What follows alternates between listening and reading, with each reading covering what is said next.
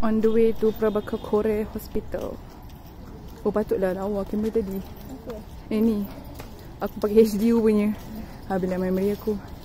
Ni basikal. Boleh lah sis. Payung-payung pink je. Seluar kuning. Bas kuning. Boleh lah sis. Nak pergi hospital je. Nak kena hembung dengan cikgu. Sebab bodoh. Ni? Dah dah dah. Amira Zohir Boleh lah sis Boleh Pakai jersey je pergi kelas.